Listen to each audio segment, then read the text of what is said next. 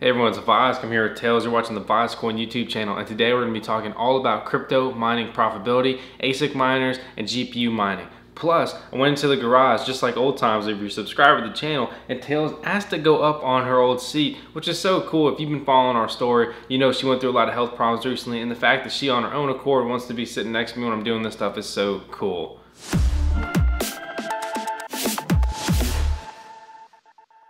If you're unfamiliar with cryptocurrency mining, the basic premise is that users, like myself, build custom computers or buy custom computers and rent out the hashing power from that, aka the computing power, to these cryptocurrency networks to help run them, verify transactions, and so forth. In exchange for that, every miner is compensated with a piece of cryptocurrency.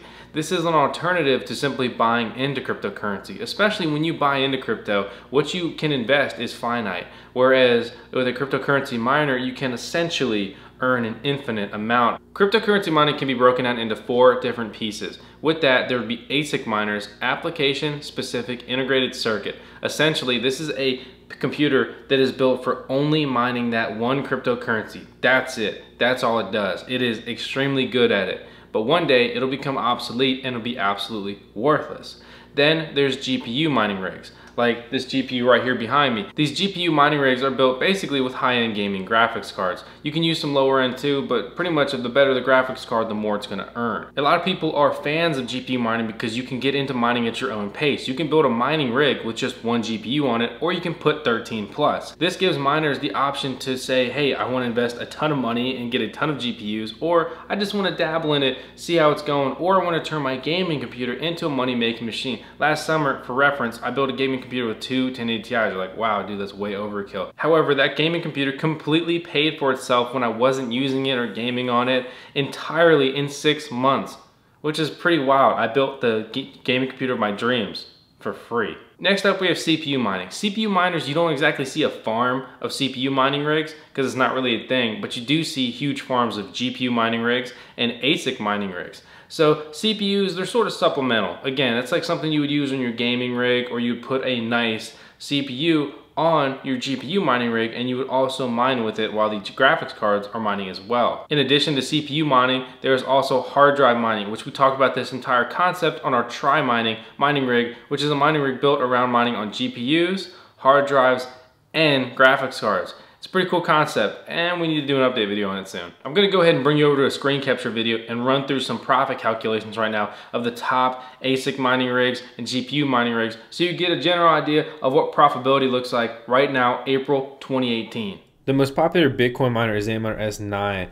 It's going to run you about 1400 bucks shipped with the power supply per Bitmain's current prices. If we run the profit calculator for that, you can see we're going to come out to somewhere around $4.30 a day USD after the electric cost. Next up is the Antminer L3 Plus, which is a pretty low price, especially compared to what it used to be, which is a Scrypt ASIC miner, arguably the second most popular ASIC miner. And we scroll down through here, you can see we're going to be pushing about $3 that one's a little bit high. We're going to be seeing about three bucks a day if you round up after electric cost. Next up would be the M100D3, which is a whole ordeal in itself. If you check back to our videos, we have some videos talking about X11 mining is going to be screwed, and sure enough, it was. On that, right now it's priced at a whopping price point of $311 maybe they're just getting rid of stock you know what i'm saying think about that and with that miner you're actually going to make 40 cents a day after your electric cost. And keep in mind, all this electric cost is ran at 10 cents per kilowatt hour. We pay about 10 and a half cents uh, personally here in Central Virginia. So that's the basic profit calculations for ASIC miners. If you come to the channel, we have all kinds of GPU mining rig builds. For this example, we're going to be grabbing a 7 GPU mining rig, which if uh, that's with 1070s, NVIDIA 1070s, and this is, you know, on every algorithm we see, we go down here and we can see right now it is most profitable mining Zencash. With that, this rig's gonna make about seven bucks a day. Following that, Ethereum is gonna make six six dollars and forty cents. We keep going down. You'll notice the 1070s are pretty well versed on Ethash as well as Equihash. Depending on what prices you get your parts at, this mining rig shown in this video will cost you somewhere probably right now between 3500 and upwards of four grand, you know, start to finish built on this mining rig. So while we look at the numbers from that point of view, it would make sense to buy the ASIC miner. But on the contrary, the GPU miner has great resale value to all kinds of consumers, not just miners, As well as being more versatile, you'll be able to mine smaller projects like the recently covered SnowGem, Raven Coin, Pearl, and Pigeon Coin, which will give you a lot of flexibility and potential to increase your earnings on a day to day basis if you're willing to take those gambles. Now that we've covered basic profitability, I want to touch on one more point, which is in this mining realm, it basically comes down to two pieces right now. It is ASIC mining versus GPU mining. And quite honestly, GPU mining is dying right now. There are ASIC miners being produced for more algorithms. It seems like every week a new mining algorithm that, if you're unfamiliar, is basically a coin or several coins that were mineable on GPU miners, aka this is their bread and butter. This is how they make the money. And without these algorithms and these coins being taken away by the ASIC miners, these GPU miners now make less money because they have less options and the ASIC miners have more models available that can mine more cryptocurrencies. Baikal Miner has released the two algorithm updates to their Baikal Miner X or their X10. Now it can mine X11 Gost as well as NIST 5. So basically there's just two projects on those two algorithms, but GPU mining for them is now dead. Within this realm of ASIC mining, there's only a few power players. If you checked our last video, we talked about Halong Mining, which now has Samsung's backing, which is pretty wild. In the ASIC mining world, Bitmain is the absolute monopoly. And I'd say the second player next to him would probably be Baikal Miner. And now, I don't know how much Halong Mining can shake this up, but it's gonna be very interesting to see. And the fact that they're dealing hand in hand with Samsung really makes you wonder. A lot of people were thinking that Samsung was gonna make these really nice ASIC miners and just hand them out to everybody and make ASIC mining fair. I mean, I don't know. I can't see the future, but I don't foresee Samsung producing their own ASIC miners, especially when they've entered into a partnership with Halong Mining. Also, in another recent video we had, I talked about the Ethereum ASIC miner that was just released by Bitmain. And the Ethereum devs don't think it's a big deal. Well, guess what? It is. It is a equivalent of an Ethereum mining rig, you know, basic one you can build and buy right now, but it's like a quarter of the price. So if you don't think that's gonna absolutely change the entire landscape for GPU mining, you're very naive and you're gonna learn the hard way. But don't tell me I didn't tell you first. Also in that same video, I touched on how the founder of Zcash couldn't seem to be bothered with even giving a second to think about ASIC resistance and moving away from the algorithm Equihash being taken over by ASIC miners, which as a pretty big GPU miner was pretty disheartening. Also, I wanna make a note, in my last video, I got a ton of flack for showing an ASIC miner after I recently spoke out against them.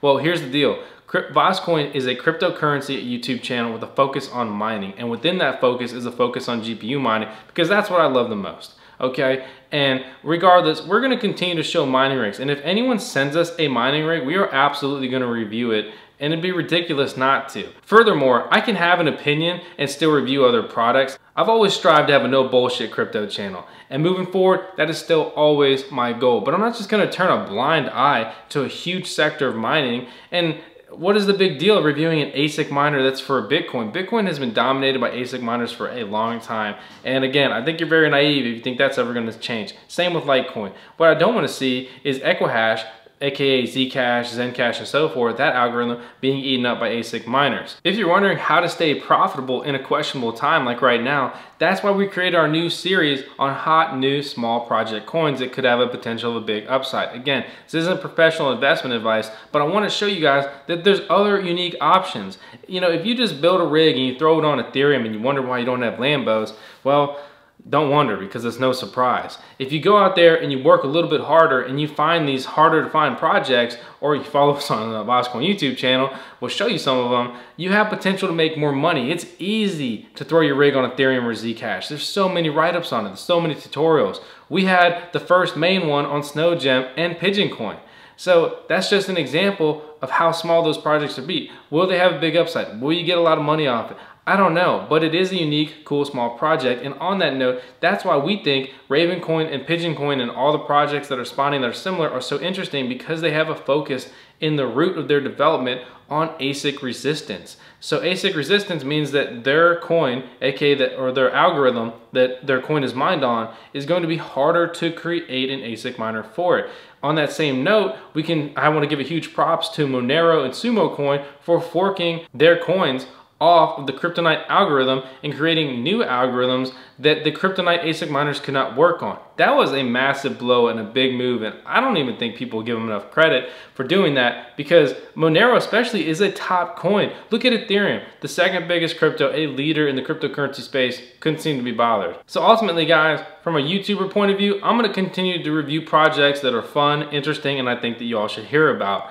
And you know, whether that's a GPU mining rig build or an ASIC miner, just work with me here. I'm trying to bring you guys fun, interesting content. You, you, can't just turn a blind eye to the other half. ASIC miners need to know about GPU mining, and GPU mining, GPU miners especially need to pay attention to ASIC miners and their development. So with all that said, I hope you enjoyed this video today. I hope that you keep a positive outlook because being down, getting negative doesn't solve anything. So we're gonna continue doing what we're doing. We're gonna continue the fight and we're gonna keep reviewing every piece of cryptocurrency that we can get our hands on. Hope you guys drop a comment on this video, leave a thumbs up, subscribe to VoskCoin, we'll see you next time.